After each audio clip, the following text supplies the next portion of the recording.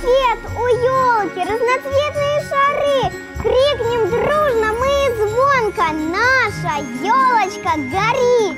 Звон часов и треск хлопушек, блеск игрушек, конфетти, праздничные упаковки и подарочки внутри.